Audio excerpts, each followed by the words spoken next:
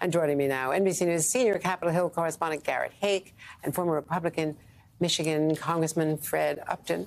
So, Garrett, first to you. Uh, I heard you this morning calling this weird. It is weird. It is weird.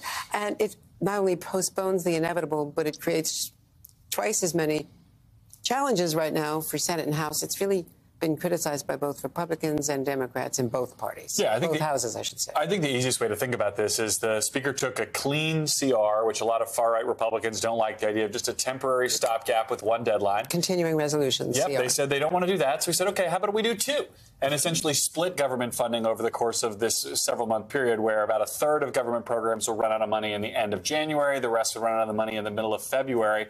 Um, that's an approach that made nobody really happy. They don't have the spending cuts that Republicans like. They don't have the supplemental spending that Democrats like. But Democrats are kind of looking at this like, well, okay, this is not the least worst option here. Let's see what Republican support looks like. If it still gets us through the holidays and into the new year with the government open, it might be good enough. But we'll see. The opposition, at least the public opposition to it, has been growing among Republicans since the Speaker announced it over the weekend. They've got some uh, some difficult procedural votes to pass before they can even take this thing to the floor. At least something to watch the next two days. So clearly, they would need some Democratic votes That's right. to bridge the gap, which is exactly what you know got the previous Speaker fired. And Fred Upton, are Democrats just saying that they might hold their nose and vote for it because right now they don't want to be in favor of a shutdown, blamed it to sort of push the blame game down the road towards maybe later this week? Well, the Dems are meeting tonight, so we'll find out what Hakeem uh, wants to do. Already, Dean Phillips, who of course is running for president, has said he's going to vote for it. Uh, so Democratic congressman from Minnesota, Minnesota, probably running for president. Yeah, no, he is running for president. Right. I think. I think he's already given up the the House. So, but you know, the issue is we've known about this deadline now for what seven weeks. So it doesn't go regular order, doesn't have a committee hearing or a committee markup. It's announced Saturday afternoon what the deal is, doesn't go through appropriations at all. They're going to have maybe the first couple votes that think there's a still a good likelihood that they get jammed by the Senate, but it just kicks the can down the road till, till January. And it goes down the road. Meanwhile, you're just back from the debate. Great Mm-hmm. coverage. Thank you. And now, one of the major, you know, someone who's thought to be a major contender, very well liked in, among his colleagues, is Tim Scott. Yeah, that's right. I think if Republican if Republican senators were the only ones casting votes for president, Tim Scott would probably be the next president. But he never really grew his constituency much beyond the Senate lunchroom.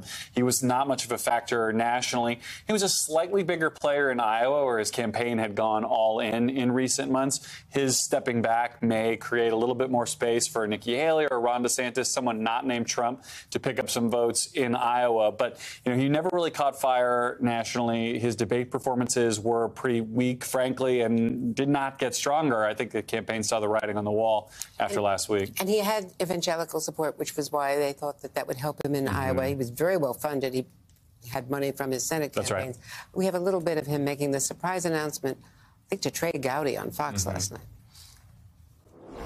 When I go back to Iowa, it will not be as a presidential uh, candidate. I am suspending my campaign. I, I think the voters uh, who are the most remarkable people on the planet have been really clear that they're telling me, uh, not now, Tim. I don't think they're saying, Trey, no, but I do think they're saying, not now. And he's from South Carolina, which is why this really might help mm. Nikki Haley. Uh, notably, he has not said anything critical about Donald Trump, nor Donald Trump about him.